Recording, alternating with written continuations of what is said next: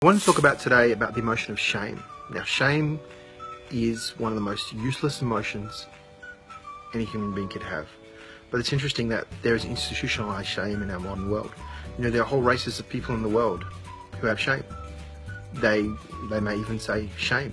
They sh- they're ashamed of what their ancestors did in war, or what their ancestors happened to their ancestors, and that that shame passes down the family tree. So different people, different races, different cultural groups, different um, socio-economic groups have shame, and shame is such a horrible, destructive emotion. It's one of those survival emotions which has, which you know, it's valuable maybe in an instant, to make you make you you know think about oh am I dressed before I go outside you know that's that's where it's important you know in a fraction of a second but endemic long prolonged shame is something that will kill you. It, it will destroy you. It's a horrible horrible emotion. And there's absolutely no need for you to experience that. Shame and guilt is another thing. It's another shade of shame. Get rid of shame. You don't need it. You've made mistakes. Maybe your ancestors made mistakes. Forgive yourself, love yourself, love them. Come from that place of unconditional love for yourself, for your people, for your group, your tribe, or whatever it is. And ditch the shame. Shame is, is nothing, it, it's only something for you if you perceive that it's something that's a part of your identity. Get rid of it. And you know, my daughter, she's growing up, she's a, you know, she's a wonderful, wonderful person.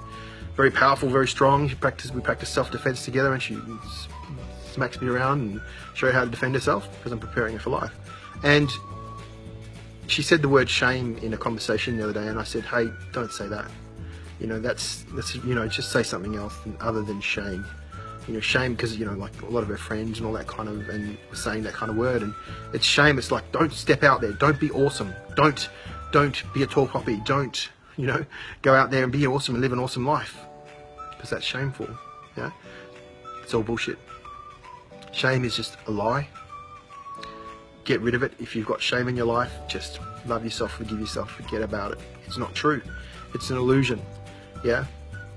Shame. Human, humanity can do without shame. Imagine, imagine a humanity without shame. It is such an unresourceful, useless emotion. Ditch it. A, if anyone in your family is using it, ban that word in your household. It's just such a wasted emotion. Love yourself. Love others let it go, let go of that pain. Forgive yourself for all your past hurts, past mistakes. Even if you're stuffed up incredibly, love and forgive yourself unconditionally. Ditch shame. Totally useless emotion. Have an awesome day. This is Roger from the Healing Warrior Program. Take care.